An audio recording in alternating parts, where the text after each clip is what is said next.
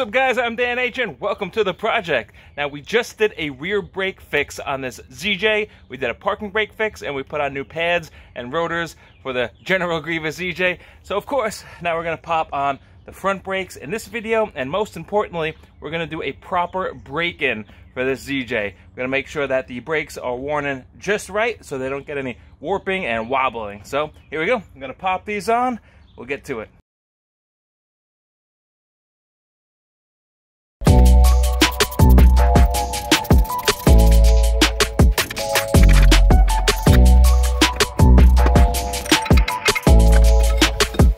All right, guys, we got the rotor off, and this isn't terrible.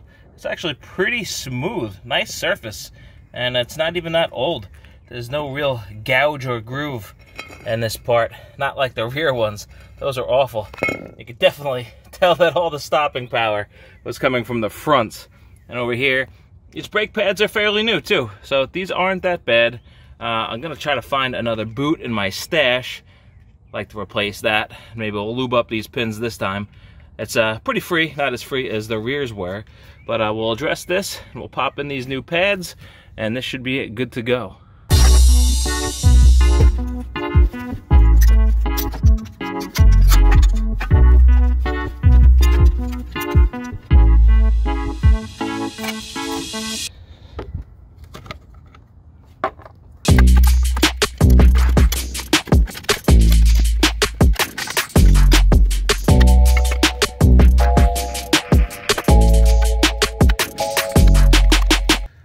We got our little caliper pin sliders. We got our boots. Here is the damaged one. Looks like it was just punched through the side. Nice. And check it out, guys. I was able to find an extra one in my stash. And even better, I found the little stoppers that plug up that hole for the park brake adjustment. So this way crud won't get in it. So this is awesome. Huge score. All right, let's clean this up.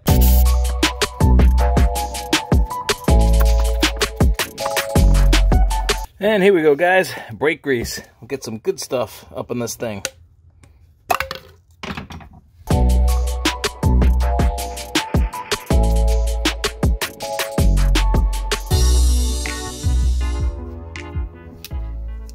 Nice.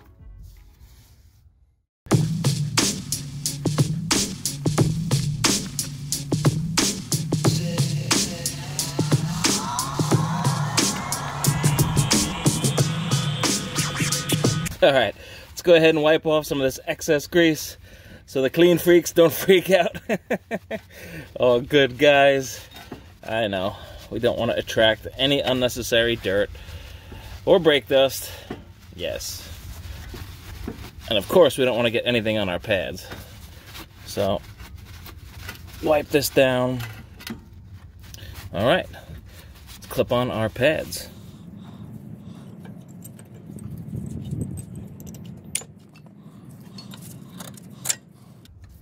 There we go. Easy peasy. Set this up here. Hit the pads with a little brake clean for good measure. Brake clean on the rotors. Fresh paper towel.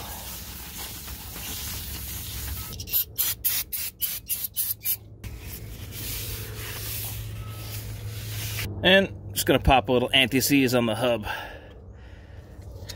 keep everything from sticking on there.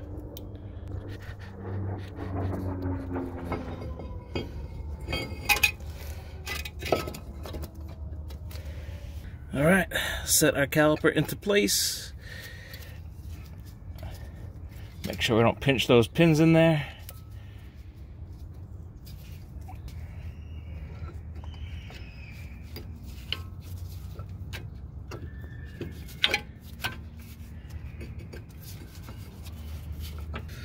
All right, gonna slide in our greased up pins. We'll get this caliper mounted.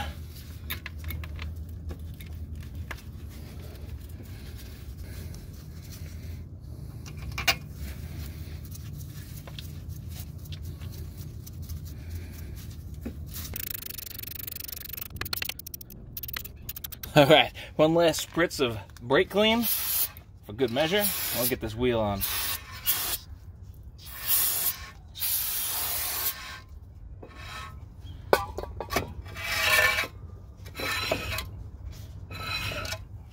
And no matter what kind of vehicle you have, it's always recommended to hand thread your lug nuts on before you send them home with an impact. This way you will avoid stripping these. You don't want to strip these.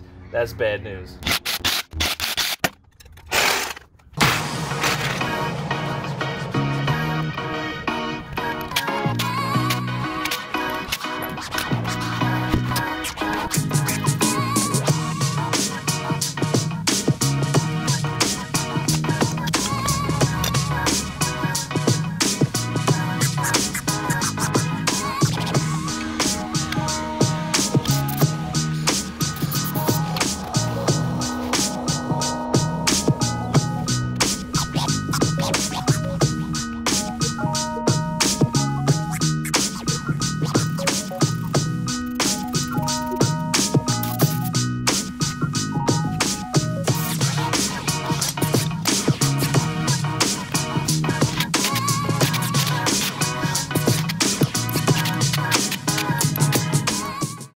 We go, guys. There we have it. Beautiful front brakes. We got beautiful rear brakes from yesterday. And of course, we did the parking brake shoes. So everything is nice and tight. We will have a good stopping power with uh, these power stop brakes. so, all right, looking good. And hey guys, check this out. When we compress the front calipers, we had some brake fluid spillage kind of just dripped out over the top. So what we're to do now is we're to cap this up and we are to pump the brake pedal. We're to depress the cylinders so the calipers can squeeze onto the brake pads a little bit and then we'll top this off a little bit as needed. All right. Oh yeah. That pedal is squishy. All right so we're to pump this thing a few times. Let the pedal firm up a little bit We'll go ahead and check the level of brake fluid once again. You can see that the level did go down significantly, so we're gonna add a little bit more fluid. And I always buy brake fluid in these little jugs because well, brake fluid is hygroscopic, which means it absorbs water. So if you have opened one of these bottles and it's been sitting on the shelf, it will absorb the moisture in the air and this stuff will go bad. So I try to use fresh bottles as much as I can. I don't want this stuff sitting around too long on the shelf. So yeah, that's more than enough. Didn't take that much. All right, everything should be good now, so we'll go ahead and give this thing a test drive.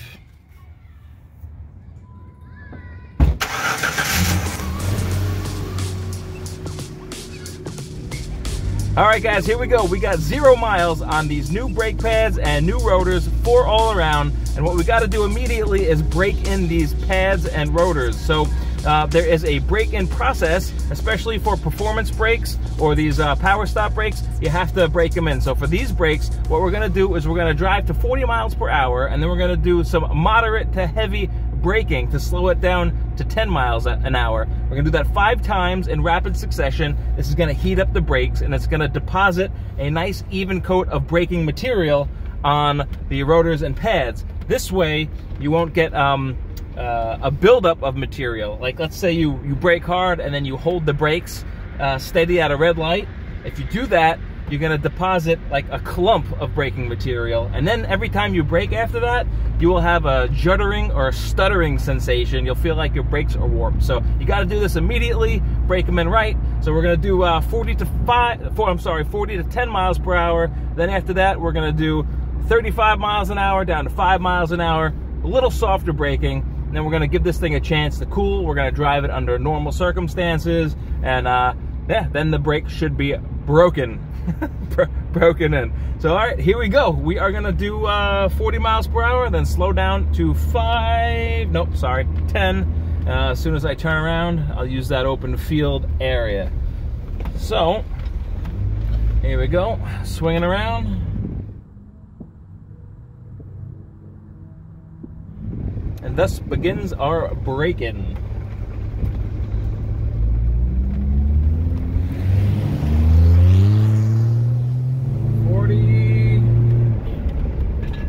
10. It's very important you don't want to stop. Don't stop completely. So find a place that doesn't have any red lights.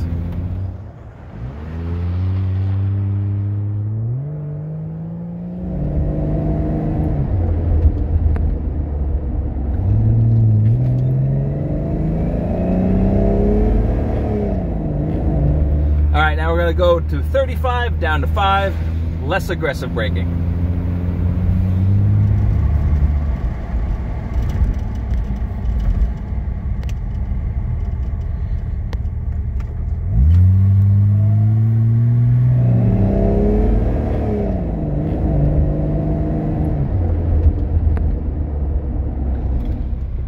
All right, so we got a stop sign with some cars coming and uh, we're just gonna feather the brakes. We're not gonna stop completely. Do not wanna imprint the brakes with a hard stop, not just yet.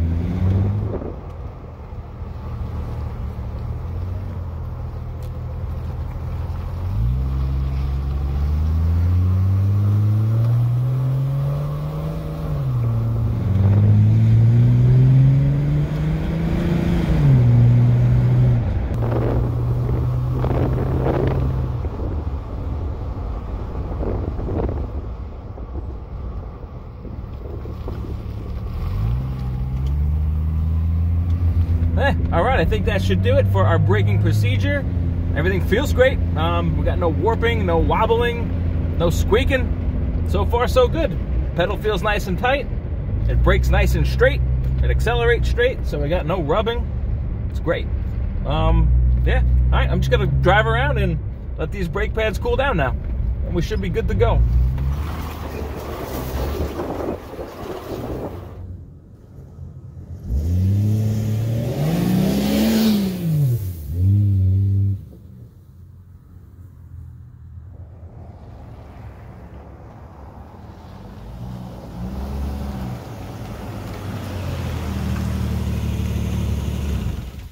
All right, guys, there we have it. That was a successful braking process. Everything drives really nice. We got some nice coloration on these rotors. You can see the material has been transferred. That is a successful bedding process. Now, it is normal for these things to get really hot. They might smell and they may even smoke, but that's just normal. They're going to be really hot, so make sure you drive normally afterwards. Let them cool down. Maybe even just rest up a bit park it for a while. And one other important thing, guys, if you have a driving behavior tracker for your insurance discount, make sure you unplug this thing because when you do some acceleration and hard stops, they can tell and they will bang you on your insurance. So make sure you pop this out before you do your braking procedure. So that's it, guys. Everything went really well, and I'm very happy with these brakes. For this project, I use some gloves, I use a little bit of brake fluid, some anti-seize, some brake grease, brake parts cleaner, of course, more than one is always recommended. I used a C-clamp, hammer, good old screwdriver. For my front brakes, I needed a 10 millimeter. Um, a lot of them are 13 millimeter, so grab one of those just in case. A jack, of course, and obviously I got a set of brake rotors. They come one in a box and a set of brake pads. You get both sides in one box. And as always, you can check the description for links to all these products. Well, alright guys, that is going to do it for my ZJ brake videos. We got the fronts done today. Go back and check out the rear brakes if you haven't seen it. Also did the parking brake. And uh, that's a wrap, guys. Everything is running nice and smooth. I'll report back to you at another time if I find any issues, or I'll just let you know how it's going. Uh, it's really nice to have a Jeep that has new brakes. I love it. So that's it, guys. Remember to like, subscribe, comment down below, and I will see you in the next project. Peace. Almost forgot my adjustment covers again. Oh boy.